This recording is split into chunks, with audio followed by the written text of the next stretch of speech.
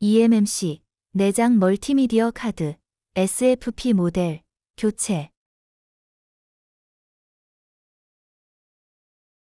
나사를 하나 풀고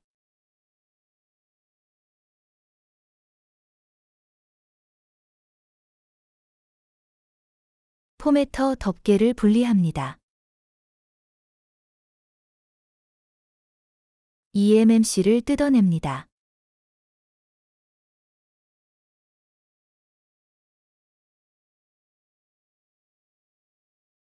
재료는 재활용하십시오. eMMC를 설치합니다.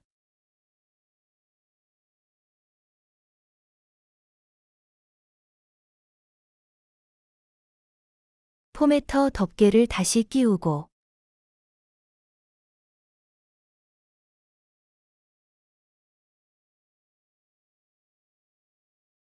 나사를 다시 조입니다.